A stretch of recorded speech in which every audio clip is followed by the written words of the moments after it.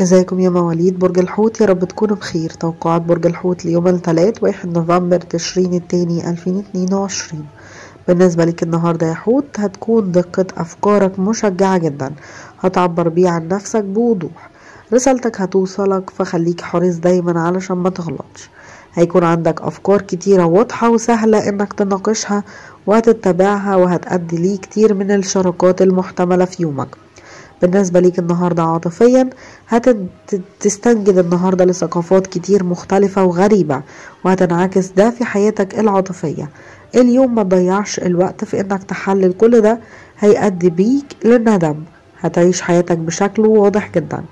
بالنسبة ليك النهاردة مهنيا يا حوت هتضاعف كل جهودك علشان تعالج بيها مشكلة مالية مش هتعرف تمشي منها بسهولة. انت كنت متخلف دايما وده كان بيضغط على ضميرك.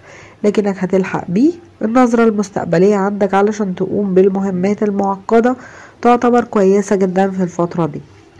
بالنسبة لك النهاردة يا حوت توقعات العشرية الأولى مواليد 19 فبراير ل 28 فبراير.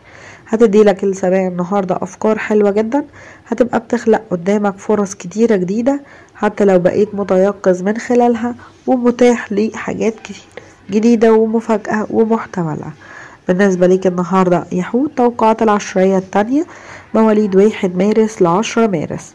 هتركز السماع على حياتك الودية. كل الأرواح تعتبر فضولية جدا ومبتكرة جدا.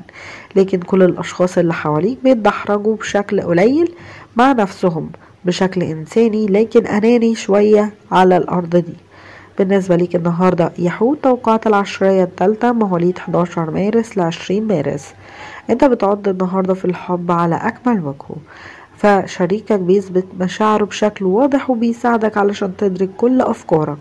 هتنظروا مع بعض في نفس الاتجاه بشكل أفضل من الكده القمر. النهاردة هيبقى في برج الدلو. ده برج إنساني جدا أخوي جدا عاطفي جدا هيبقى بيسيطر علينا بشكل كبير. أفكارنا هتبقى مفاجأة ورائعة جدا لكن هنلاقي شوية عناد فيها.